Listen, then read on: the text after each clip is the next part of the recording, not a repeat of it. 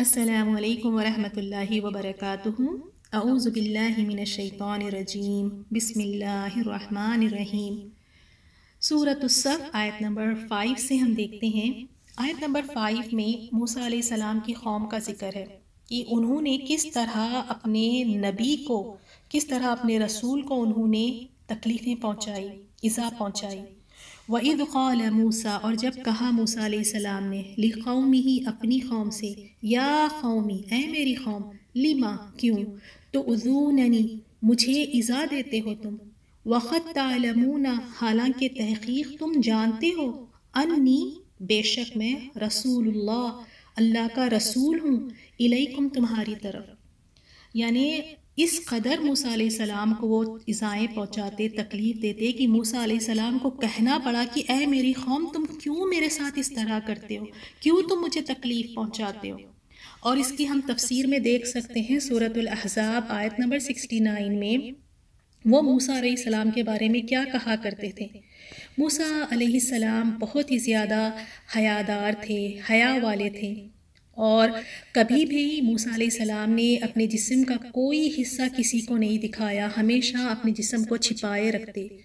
तो बनी इसराइल के लोगों ने बातें बनाना शुरू कर दी कि शायद इनके जिस्म में कोई यानी दाग है या कोई बीमारी है या कोई इस तरह का कोई मसला होगा, इसी वजह से हमेशा मूसा सलाम अपने जिस्म को ढांके रखते हैं, कभी अपने जिस्म को नंगा नहीं करते। इसीलिए वो छुपा के रखते हैं। तो ये बात बड़ी तकलीफ़ देती थी। और इस पर अल्लाह ताला ने मूसा सलाम की मदद फरमाई।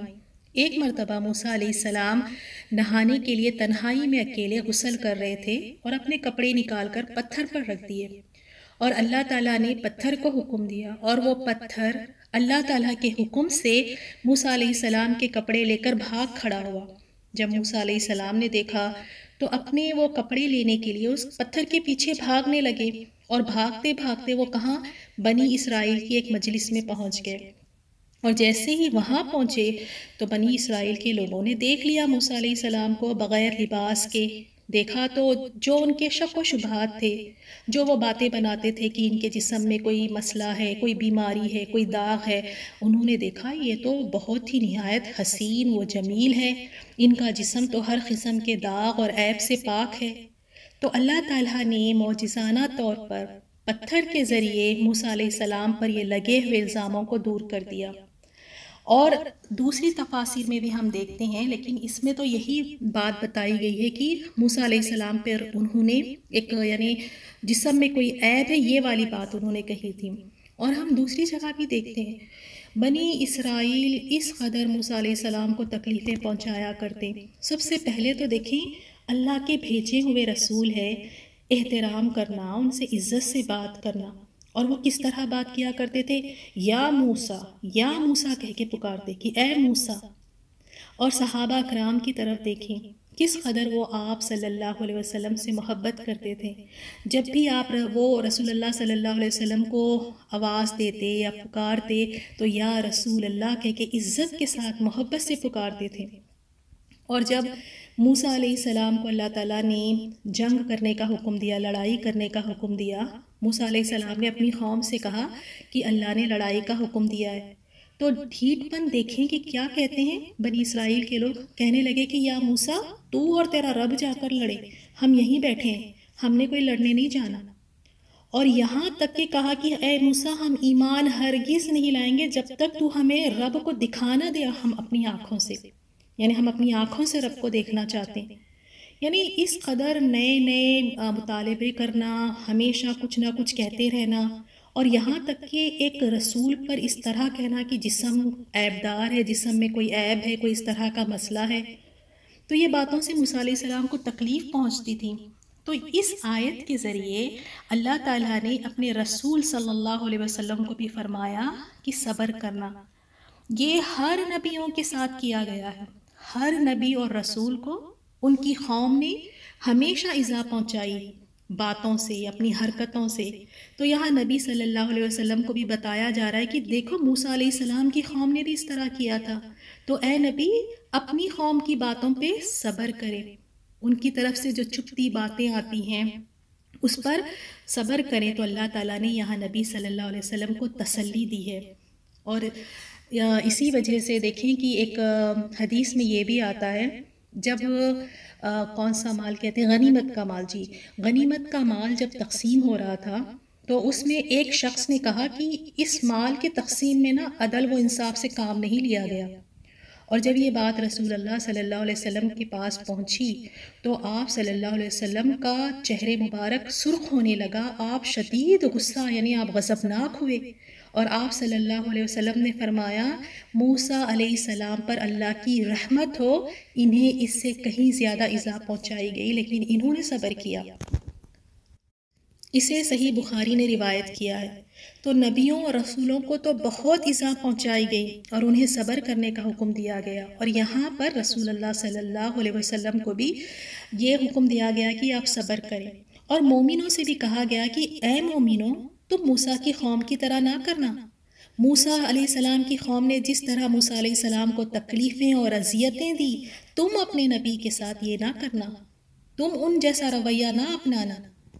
यानी देखें कितनी प्यारी बात है अल्लाह ताला किस तरह हमारी इसलाह फरमा रहे हैं कि ए मोमिनो, तुम बनी इसराइल की तरह ना करना।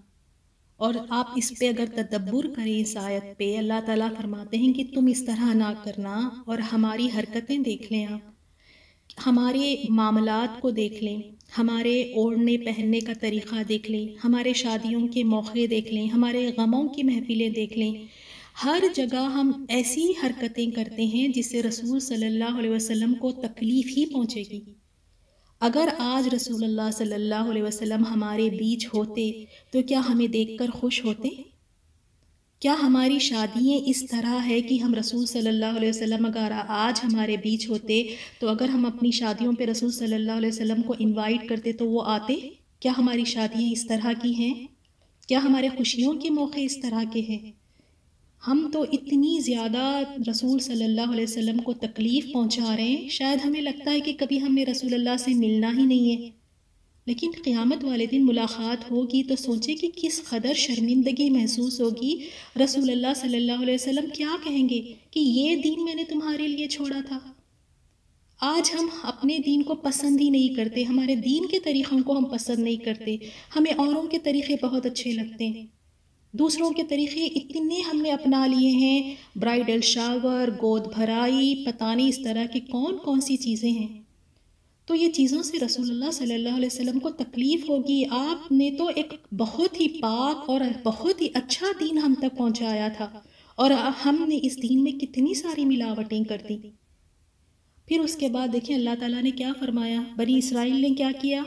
अपने रसूल की, उन्होंने बात नहीं मानी, इज़ा पहुंचाई। तो अल्लाह ताला फरमाते फलम्मा पश्च जाहू वो टेढ़े हो गए। अजाक अल्लाह तो टेढ़े कर दिए अल्लाह ताला ने खुलूबहुम उनके दिल। अल्लाह अकबर, अल्लाह महफूज रखे। वल्लाहदी कौम अल्फासिकीन और अल्लाह नहीं हिदायत देता फासिक कौम को।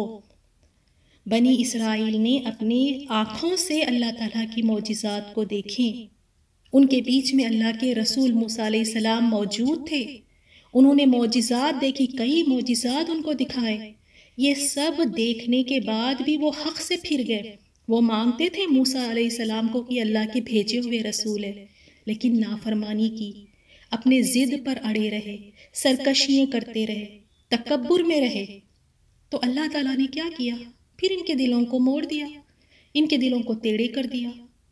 अल्लाह ताला हमारे दिलों की हिफाजत फरमाए, अल्लाह ताला हमारे दिलों को अल्लाह ताला दीन पर साबित कदम रखे।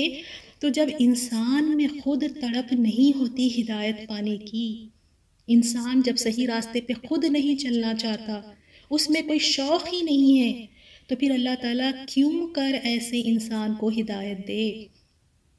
इसीलिए हम सब में हिदायत की तड़प होनी चाहिए। कि जब भी नमाज़ पढ़ रहे हैं, दिन में सत्रह मरतबा हम अपनी फ़र्ज़ नमाज़ों में कहते हैं इह दिन सिरातुलमस्तकीम या अल्लाह सीधे रास्ते पे चला दे। अगर हम ये शूर के साथ ना कहें, वाकई हम दिल से हिदायत ना मांगे तो हमें भी हिदायत नहीं मिलेगी। अगर हक़ को देखकर उसको नहीं अपनाएँगे तो दिल टेढ़े हो जाते हैं। फिर अल्लाह ताला हिदायत से महरूम कर देता है। हमारे सामने कितने हक़ आते हैं।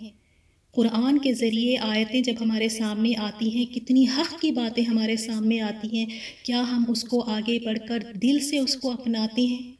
सुनकर भी अनसुनी कर देते हैं हम। डरना चाहिए इन बातों से। बहुत ज़्यादा डरना चाहिए। अगर दिल टेढ़े हो जाए तो फिर अल्लाह ऐसे फासिक लोगों को हिदायत नहीं देता। अगर दिल टेढ़े हो जाए तो फिर अपने हाथों से मुर्दों को दफन करने के बाद भी दिल नरम नहीं पड़ते। अपने सामने जनाजे उठते हुए देख कर भी फिर दिल में कोई एहसास नहीं जागता।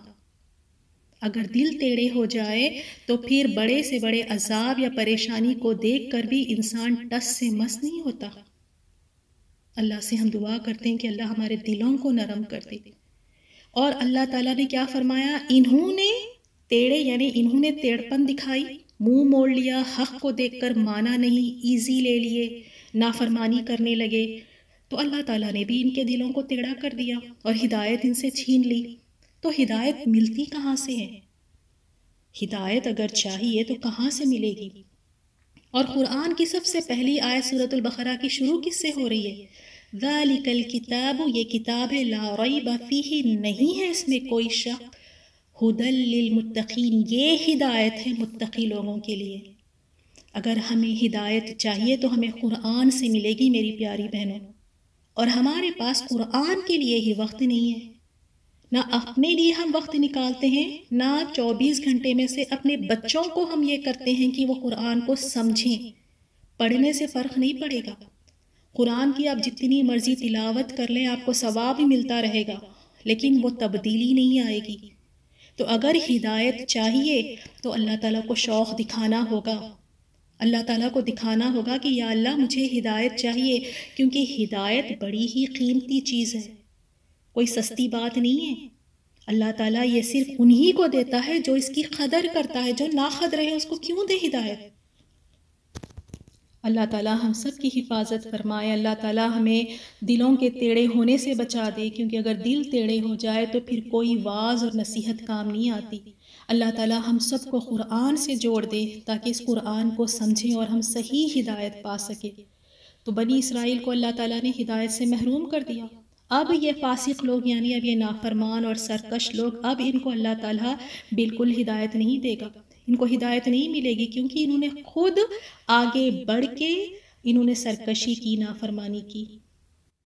नेक्स्ट आयत में हम देखते हैं ईसा सलाम का ज़िक्र है। वही दुखाला और जब कहा, ईसा बन मरियमा, ईसा बिन मरियम ने, या बनी इसराइल, ए बनी इसराइल, इन्नी बेशक मैं रसूलुल्लाह, अल्लाह का रसूल हूँ इलैकुम तुम्हारी तरफ़।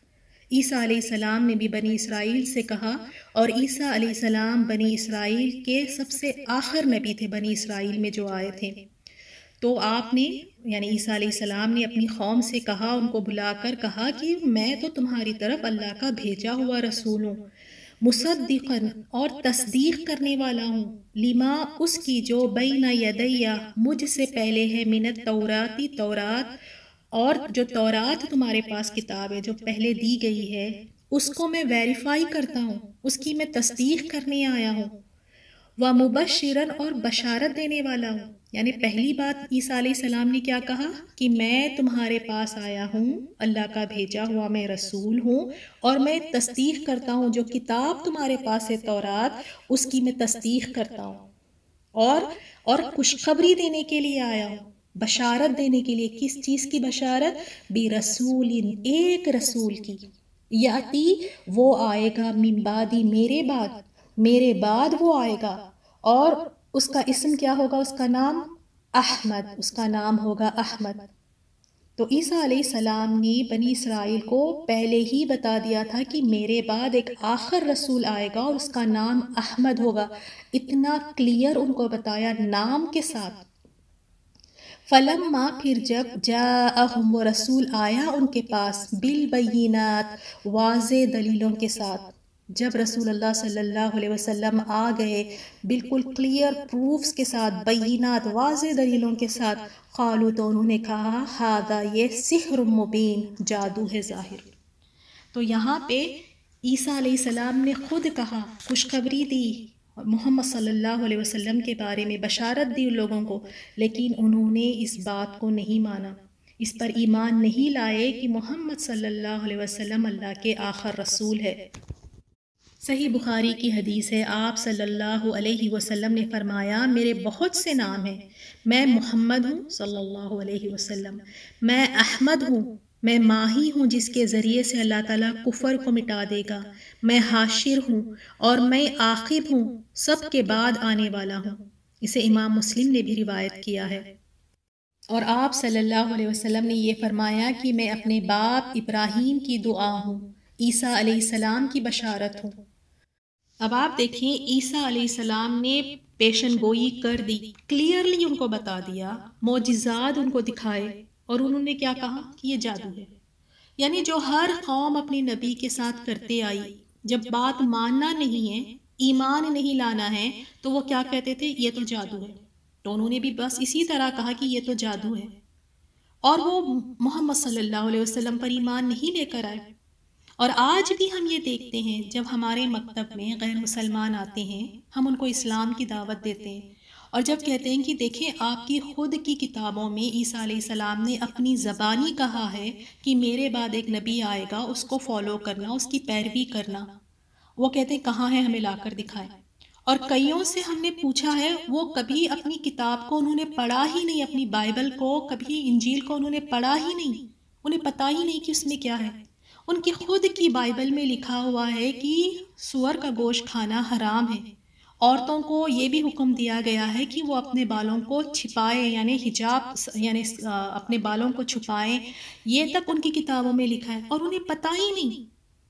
और जब हम उनको बताते हैं, उनकी किताबें सामने खोल कर देख कर भी मानते नहीं है, क्योंकि मानना जो नहीं है, बस माँ बाप को करते हुए देखा है।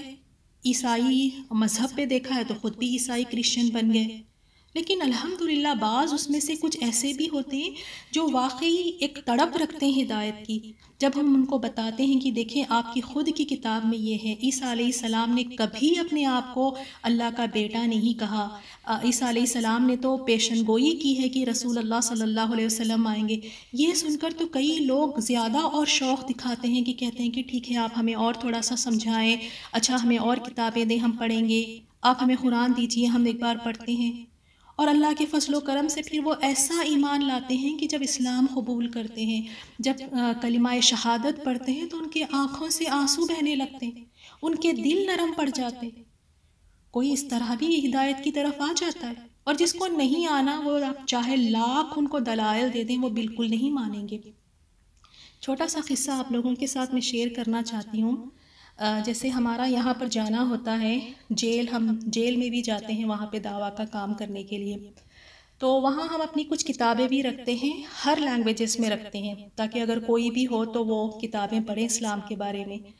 तो जब हम जेल विज़िट किए वहाँ पे तो एक फ़िलीपींस की थी तो उसने माशाल्लाह यही इस्लाम कबूल की और जब उसने अपना क़िस्सा सुनाया इस्लाम कबूल करने के बाद जब हमने पूछा तो उसने यही कहा कि मदाम ऐसा कौन सा गुनाह नहीं है जो मैंने नहीं किया? मैंने वो सारे बेहयाई के काम किए शराब पीना सिगरेट पीना और जेल में भी वो इसीलिए लाई गई थी कि उसने जिना किया था ताकि उसको कोड़े लगाए जाए। तो जेल में थी वो और उसने कहा कि मैंने हर तरह के बुरे काम किए अब वो जेल में थी और आपको पता है जेल में ना कोई आना ना कहीं जाना ना वहाँ पे कोई खाना पकाना है पका पकाया हुआ उनको मिल जाता है तो कुछ करना होता नहीं तो किताबें थी तो ज़ाहिर सी तौर पे अब वक्त तो गुजारना है तो किताबें लेके वहाँ पे इस्लाम की पढ़ने लगी। पढ़ पढ़ के अल्हम्दुलिल्लाह उसका दिल इतना अल्लाह ताला ने खोल दिया कि वो इस्लाम कबूल कर ली। कहाँ वो एक गुमराही के दलदल में थी। तमाम बेहया काम उसने किए, सारी नाफरमानी और गुनाह के बड़े बड़े कबीरा गुनाह उसने किए। और जब वो किताबें पढ़ी, क्योंकि उसको शौक़ था, तड़प थी कि मैं देखूँ कि ये है क्या असल, ये इस्लाम है क्या?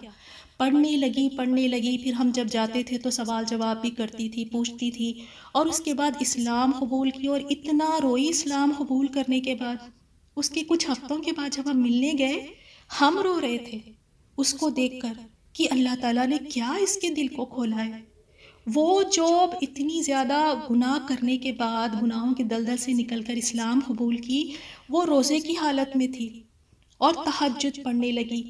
और बिल्कुल कुछ ही हफ्तों में उसने कुरान को लिखना और पढ़ना सीख लिया। लिखना तक, क्योंकि जेल में औरतों की मसरूफियात होती नहीं। तो उसने अपना सारा टाइम दीन के लिए लगाया। वो कुरान को अरबिक में पढ़ने भी लगी और लिखने भी लगी। हफ़्ते में रोज़े दो रोज़े रखने लगी। तहजद गुजार बन गई। अल्लाह अकबर, यानी अल्लाह ताला देखें, जब किसी में हिदायत की तड़प हो तो किस तरह अल्लाह हिदायत दे देता है? अल्लाह ताला हमारे दिलों को भी इस तरह खोल दे। अल्लाह ताला हमें भी हिदायत पे, हिदायत के रास्ते पे चला दे। तो जिसमें तड़प होती है हिदायत की तो वाकई ये हिदायत अल्लाह ताला उनको अता फरमाता है। और देखें किस तरह ईसा सलाम की कौम ने भी किस तरह इनकार कर दिया। ये कहकर कि ये जादू है। और ये आजकल आम सी बात हो गई है। अगर ज़िंदगी में कोई मसला चल रहा हो, कोई बीमारी हो, या कोई बिज़नेस अच्छा नहीं चल रहा है, या बेटियों की शादियाँ नहीं हो रही है तो आजकल हम भी यही कहते हैं कि शायद किसी ने कुछ करवा दिया है। कहीं कोई जादू तो नहीं करवा दिए फ़ौरन से जहन वहीं चला जाता है। यानी जब कोई चीज़ समझ नहीं आती ना इंसान के जब इंसान के बस में नहीं होती जब कुछ ठीक नहीं हो रहा होता तो फ़ौरन जादू, जादू का नाम दे देना। तो अल्लाह ताला वाकई हमारे दिलों को खोले और हम हक़ को देखने वाले बने। हम इस बात को समझें कि हक़ देखने के बाद इनकार कर देना ये अल्लाह ताला इससे दिलों को टेढ़ा कर देता है। दिल सख्त हो जाते हैं। या अल्लाह हम सब के दिलों को नरम फरमा दे या अल्लाह हमें सिरातुल मुस्तकीम पर चला दे या रब्बल आलमीन हमारे आने वाली नस्लों को शिरक से महफूज रख हम सबको या अल्लाह हिदायत के रास्ते पर चला दे आमीन या रब्बल आलमीन इन आयात की तिलावत सुनिए